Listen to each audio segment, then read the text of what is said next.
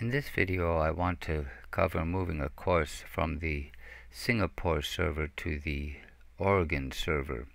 Here I'm in the Singapore server.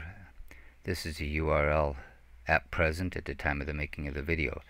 For demonstration purposes I'm going to go ahead and move my sandbox course. There's not much in this course. I go into the course and scroll down to settings.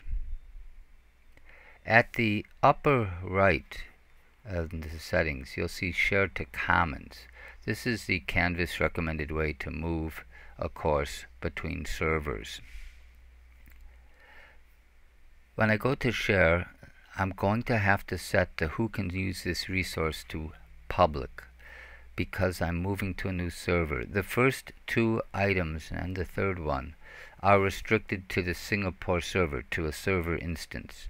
So I will have to post it publicly. I can delete it once I've gotten the move done. The description uh, is required when posting to Commons. I'll just put up demonstrator as I will be deleting this. An image is required. And I'll just uh, grab one of these images here I do need to remember the name that it gets posted under because that's how I'll go back and find it. And if you are actually posting, you'd probably want to set a grade level. With all of that done, I'll click on Share, and that will share the course to the Commons. It may take some time for it to synchronize into the Commons.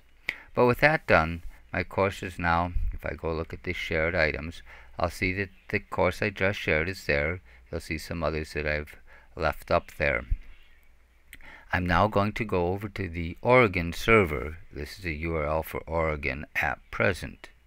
And I'll import my material into a blank course I've created for this uh, video.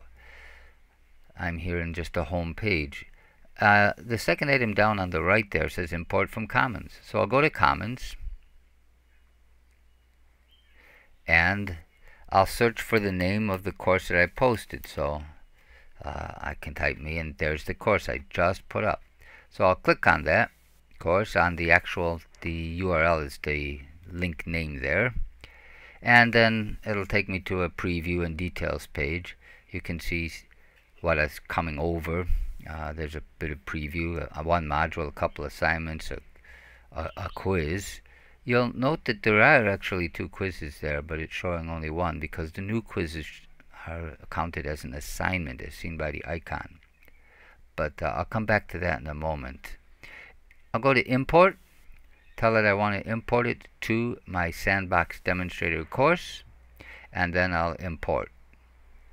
It may take a while to see changes in your course. They do note that. Let me come back to uh, my dashboard and I'll go around back into my course and see where we've gotten to. And the materials are still coming in. Well, there's the, actually, it looks like they've already landed. That's the uh, picture from the Singapore instance.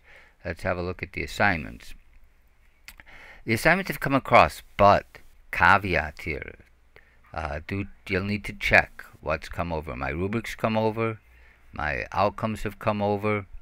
Uh, I didn't have any discussions, but, and there's a, uh, my classic quiz is here and it's come over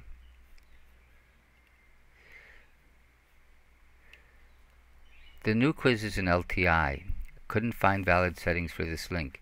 The new quizzes are not yet transferable through the commons. The new quizzes are actually an external tool and external tools are local to a server. And so the the new quiz does not transfer through the either through the commons or through an export and import process. Unfortunately, there is no way to move external tools between servers. And so uh, you'll see that I am actually reaching back into uh, my older Schoology material at this point from last fall and importing that material separately as classic quizzes. See, the Open Rocket is a classic quiz. And the closed rocket is a new quiz. So classic quizzes will come over, new quizzes will not. As I said during the term, using new quizzes carries some risk because new quizzes are not scheduled to fully land until 2022. Canvas is working on this issue, is aware of this issue, but they also are planning full rollout in 2022. So I've um, uh, as usual, by playing with something that's not yet all in place, I have uh, given myself some extra work on that. But if you have classic quizzes, they will come across. You can see that here in my uh, little box. And you'll notice under quizzes, only one has come across, the classic quiz. And the new quiz looks like it came across, but it has failed. And uh, there is no way to bring those across because they are simply local to a server and it is something they are working on. There are a number of other features they're working on for new quizzes and they'll land in 2022. Uh, I'm going to be going back to using classic quizzes because I found that my quizzes and tests are basic enough that I don't actually gain any new capabilities with the new quizzes at this point and uh, I'll move back into there'll be a conversion tool later to convert our classic quizzes to new quizzes. Canvas has promised that there will be tools for conversions and so uh, I'll be watching for those but I'll be returning to classic quizzes and there'll be some work I need to do to set those up. But that's all there is to it. Now uh, to remove your course from the commons um, uh, you'll need to come back to your to the Singapore server from where you posted it and then you delete the um, the uh, course. Like this course I don't really want to leave that up there so I'll go ahead and delete that. And that's all there is to deleting it.